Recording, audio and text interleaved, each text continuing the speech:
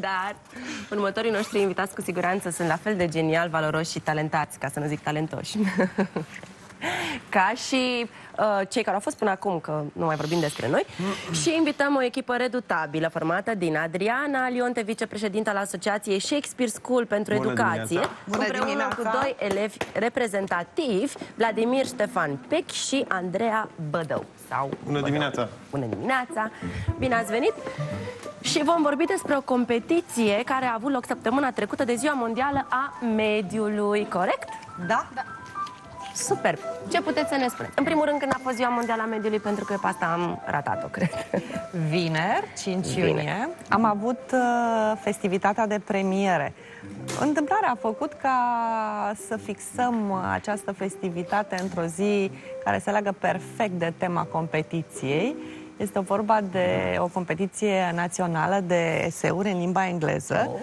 Da, care se adresează copilor de gimnaziu și liceenilor. Interesant. Da, e o competiție care deja a ajuns la a șaptea ediție și se bucură de mare popularitate, iar tema de anul ăsta a fost uh, una de, de impact și uh, care a avut succes la, la tineri pentru că uh, ea se referă la sustenabilitate.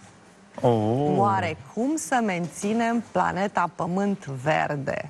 Foarte interesant. Și în aproximativ 250 de cuvinte li s-a cerut să-și uh, exprime punctul de vedere și să fie cât mai creativ și care au reușit. Putem să creăm așa un fragment, un moment? uh, Poate Andreea să ne spună? Uh, Da, când am aflat de tema concursului, m-am gândit că este o temă despre care s-a scris foarte mult și atunci, ca să fie ceva original, m-am gândit să schimb puțin perspectiva din care să Mai puțin? vorbesc. Irina, peste 10 ani, uite cine îți va la locul. Da, asta mă uitam. Aștept să este ne zică absolut și superbă. uh, Ștefan. Mulțumesc.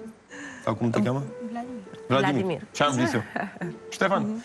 De Vladimir să ne spună câte ceva și o să vezi că ia locul tot așa, mai repede. Da, chiar. da, da. Să, să, să ascultăm pe Continuă, te Andreea. rog. Da, și am hotărât să scriu eseul sub formă de scrisoare, o scrisoare adresată planetei Pământ de către o altă planetă. Oh.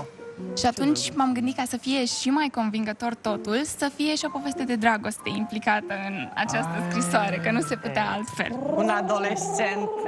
Sigur, sigur. Iar acea planetă se îndrăgostise de Terra în urmă cu mii de ani, când Terra arăta altfel decât cum arată astăzi, și ne ruga pe noi, locuitorii acestei planete, să o salvăm și să o ajutăm să devină ceea ce a fost cândva, să-și recapete echilibrul pierdut. Deci nu este o temă um, pentru mine, adică mie nu mi se pare o temă destul de grea în limba română, dar mai grea în limba engleză de scris. Da, așa e, pentru că fiecare eseu începe, să spunem, cu o revelație, cu o idee, cu inspirație, iar apoi urmează munca, mai ales când vine vorba de limba engleză, când trebuie să cauți sinonime, nu poți să pui primul cuvânt care îți vine în minte, pentru Corect, că corect. trebuie să te gândești la expresii care să pară mai naturale în engleză. Dar uh, este o muncă care mie îmi face foarte mare plăcere. Asta Eu am contează o cel mai întrebare mult. și pentru Vladimir.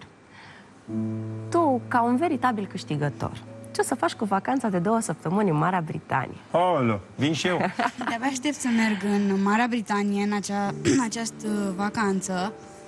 O Voi merge în excursiile în Londra, Așa. unde de-abia aștept să văd uh, marile clădiri ca și uh, Tower Bridge sau White Tower. Dar voi și participa la cursurile de engleză uh, de la colegiul din uh, Bristol. Acolo va avea loc această tabără. Foarte frumos. Andreea, cred că vei- vei pleca și tu. Câți câștigători au fost? Of, Au fost 29 de finaliști, Da. pe toți am premiat. Frumos. Uh, Numai că Andreea și Vladimir au luat locul întâi, fiecare la categoria Minunat. lor de vârstă. Super. Și numai ei vor merge în Marea Britanie. Uh, Restul copiilor uh, vor primi, și dau, de altfel au primit deja, premii Diplome, frumoase, premii. diplome, cursuri de engleză în București, uh, taxe de examene, cărți, Ce frumoasă e e-book copilăria. readers, multe, multe, multe cadouri. Dar imaginați-vă că acești copii uh, minunați, Vladimir și Andreea, au intrat în competiție cu peste 3000 de alți. Iată, copii. avem și câteva imagini de la premiere. Vladimir, spune-ne tu, până ne urmărim noi câteva imagini, ce Ce înseamnă think green, speak green, act green pentru tine? Înseamnă că trebuie să ne gândim cum să facem ca să ne ocrotim planeta, dar în același timp să și, să și motivăm pe ceilalți să facă la fel și să acționăm pentru acest lucru. Nu ajunge să ne gândim ca să rezolvăm problemele planetei noastre. Trebuie și să acționăm. E simplu, dar trebuie Spus să ne și gândim închis cum, subiect. ac- cum acționăm. Oare cum acționăm? Foarte interesant. În consecință. Vreau să vă întreb. uh, Știu că ați ales uh, ca emblemă, ca, dacă pot spune așa, co- a acestei competiții, pe uh, sportivul uh, campionat Andrei Roșu, uh, media, medalia la campionatul uh, mondial de triatlon. Da. Este adevărat, în fiecare an Legătura, sunt foarte curioasă uh, Da. care este între, între acest sportiv și eseuri. Pare că nu e nicio legătură, nu-i așa? Da. Performanța este legătura. Adevărul Iată. este că în fiecare an alegem un ambasador al competiției. Anul trecut am avut pe cineva din mediul de business, în urmă cu 2 ani din zona cultural-artistică, iar anul acesta ne-am propus să găsim uh, un uh, om care să inspire pe tineri și care să le arate că nu există limite și că potențialul uman este fantastic. Totul este să uh, acționeze, așa cum spunea Vladimir, și să-și dorească și să pună pasiune și să fie perseverenți și atunci pot obține tot ceea ce își doresc. Ori Andrei Roșu este uh, o inspirație fantastică, nu numai pentru copii, ci pentru noi toți, pentru că uh, e un corporatist care în fiecare dimineață, între 5 și 7, uh, se antrenează pentru diverse competiții, maratoane, triatloane, uh, Ironman, acum ceea ce și-a propus pentru vara aceasta e wow! Trece canalul Mânecii în not, uh, apoi ia bicicleta până la Paris, uh, totul se întâmplă în, într-un timp Irina, record. asta poți să faci și tu cu bicicleta. Da. Da. Și așa știi în acum avion. să mergi. Până la Paris înveți să mergi, spun eu.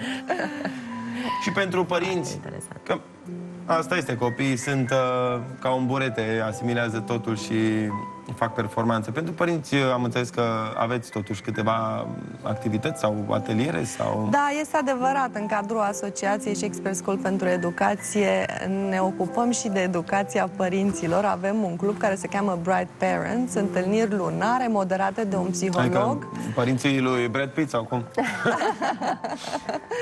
Bright. Ah, Deci bright. părinții străluciți. Noi ne dorim ca toți părinții buni să devină părinți străluciți. Și glumeți cadou.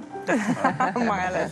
Ah, și să se ocupe de acești tineri minunați într-un mod uh, pozitiv, pentru că am sentimentul că de multe ori părinții, în dorința dumnealor de a-i stimula, sunt uneori uh, mult prea mult focusați pe zona de negativ, ce nu au făcut bine. Și noi Corect. încercăm să le oferim un exemplu de educație pozitivă părinților. Asta este minunat. Da. Vă mulțumim uh, pentru acest lucru, mulțumim pentru prezența dumneavoastră aici și mulțumim și vouă câștigătorilor că ați venit și că ne-ați împărtășit puțin din Felicitări. gândurile voastre. Mulțumim. Felicitări din suflet și Doamne ajută să aveți uh, putere și inspirație să organizați de acum înainte. Și cel Vladimir, puțin dacă te duci cu la double fel de decker-ul mult. să-mi faci cu mâna de acolo, da, din Londra. și să ne postezi și poze pe pagina de Facebook a emisiunii. Tine, unde Te tine, de așteptăm mult am și vrut vă să fac așteptăm pe dumneavoastră, pe toți să uh, ne scrieți un gând, o atenție, o, o dorință, de ce nu? Ce doriți să uh, vedeți la noi în emisiune?